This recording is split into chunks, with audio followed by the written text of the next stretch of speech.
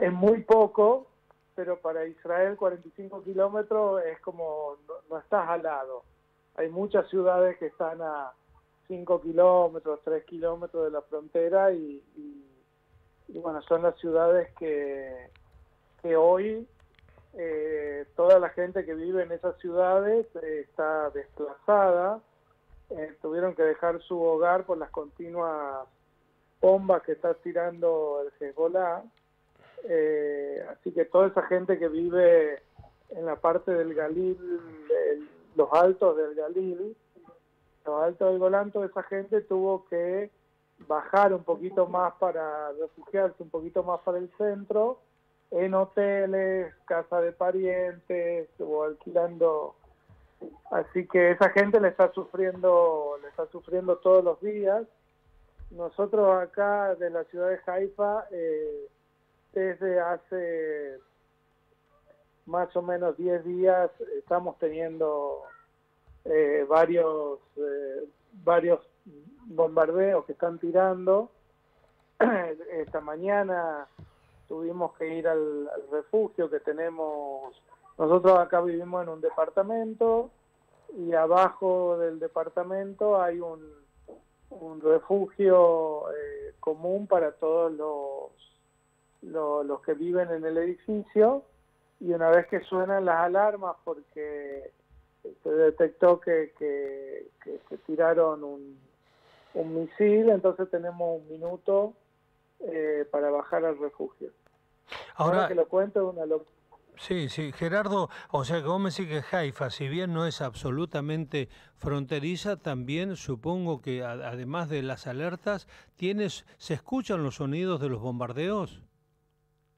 Sí, sí, totalmente. O sea, eh, Haifa, eh, Haifa está en altura, es una ciudad en altura donde, eh, como está arriba de la montaña, el Monte Carmelo, entonces vos ves hasta, eh, hasta la frontera, los días que, que hay buena visibilidad se ve. Entonces, toda esa parte que es una bahía, toda esa parte cuando llegan las bombas ahí, no suena la alarma en Haifa, pero suenan las alarmas en esas ciudades y nosotros escuchamos los los, los booming, los eh, cómo, cómo destruyen, porque acá, no sé si, si, están eh, familiarizados, acá hay algo que se llama eh, Barcel, que vendría a ser como la, la cúpula de hierro, que cuando se detecta que tiran un misil de del Líbano, en este caso de, de Hezbollah, eh, Israel manda otro misil y lo intercepta en el aire.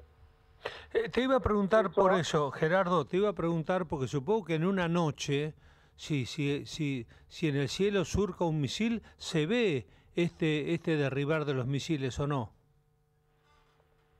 Eh, bueno, lo que pasa es que tenés que estar bien, o sea, uno no lo ve porque uno no está viendo el cielo todo el tiempo, lo que escucha es directamente o el boom porque fue lejos, claro. o la alarma porque está, está viniendo para esta zona.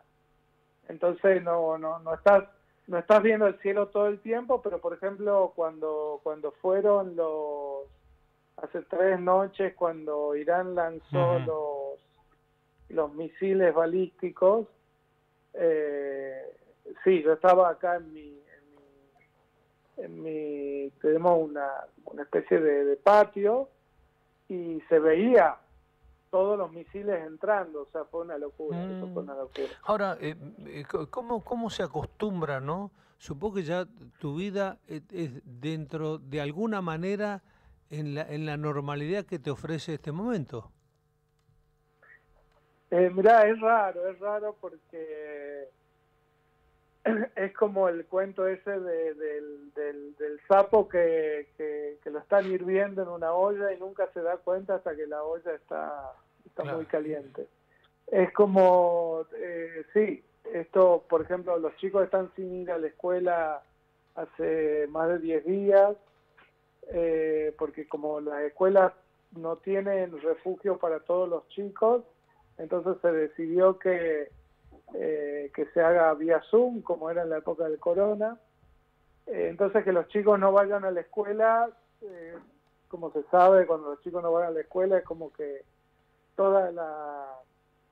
Eh, hace un lío familiar porque alguien se tiene que quedar en la casa, no quiere dejarlo a los chicos solos, entonces ya el trabajo empieza a ser eh, más entrecortado porque a veces puede mi mujer quedarse, otras veces no puede, o, yo estoy volviendo antes del trabajo.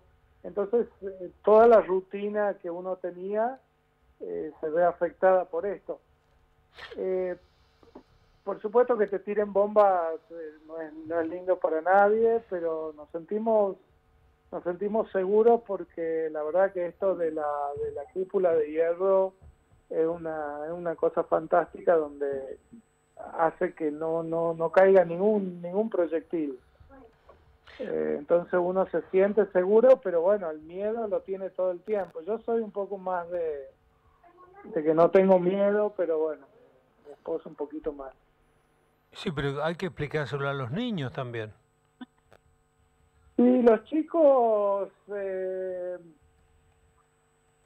los chicos sí, es difícil porque los chicos preguntan por qué no nos quieren, qué, qué pasó, qué, qué hicimos, qué hicieron, y no hay una respuesta correcta para eso. O sea, nadie nadie se merece que, que lo quieran matar por, por cualquier cosa que, que hayan Entonces, como, es como muy difícil explicar.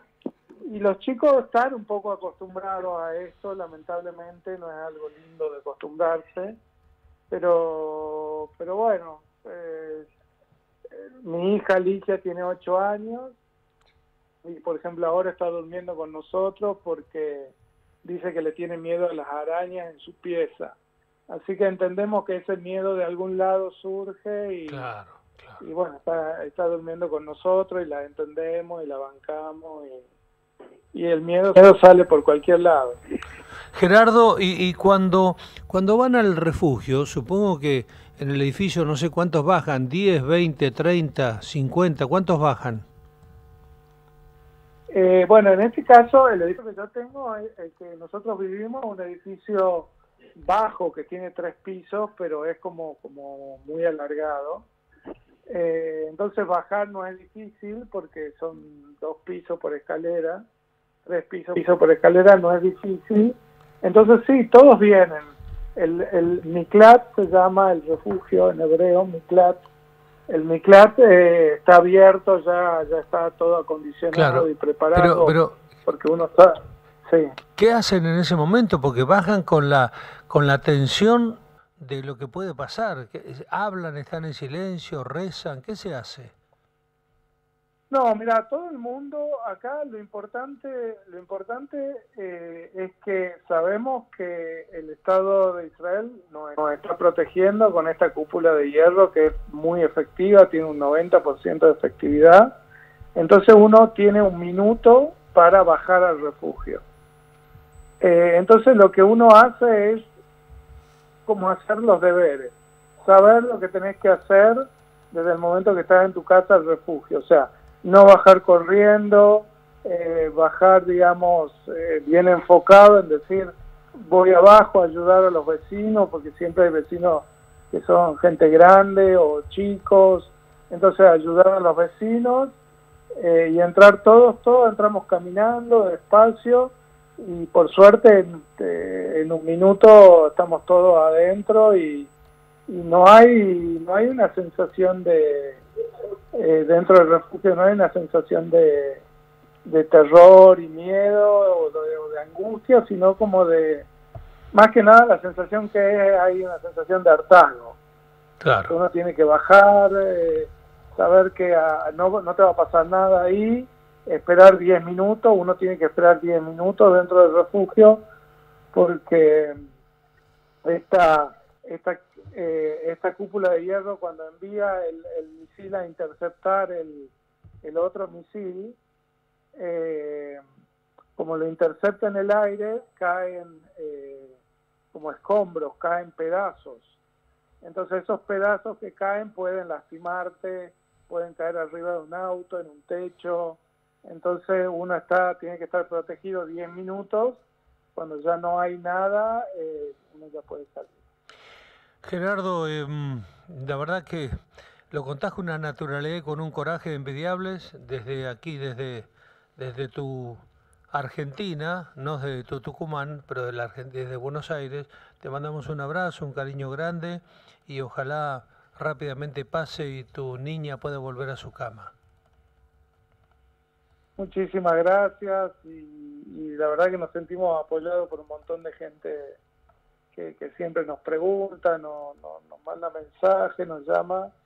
Y bueno, como todo la guerra es, una porquería, no, no, no sirve para absolutamente nada y, esperemos que, que, las partes se encuentren y, y lleguen, lleguen a un acuerdo, lleguen a un acuerdo que puedan devolver a los a los secuestrados que están en, en Gaza, que la gente pueda volver a sus hogares y que vivamos en paz, que la diplomacia es lo que tiene que, que surgir.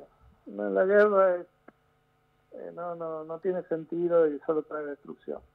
Un gran abrazo, Gerardo. Saludos grandes por ahí y muchas gracias por llamar. Gerardo Huerchow, tucumano que está viviendo en Haifa, una ciudad que si bien está a 40 kilómetros, se escuchan las detonaciones, se ven los misiles y se ve la frontera con el Líbano. En todo el país, Pan Casero Nacional. Con el Cholo Gómez Castañón. Soy Gladys de General Roque Río Negro. Soy Mario de Cañuelas. Soy Alicia de Santa Rosa La Pampa. Estoy muy feliz escuchándolos a ustedes. ¿Dónde estás? Llevas Nacional. Les mando un abrazo muy fuerte. Tu radio. Seguros para sembrar. Seguros para cambiar. Silo Bolsa Seguro. Una solución única en el mercado brindada por Río Uruguay Seguros, IOF y Prosegur monitorea a distancia el estado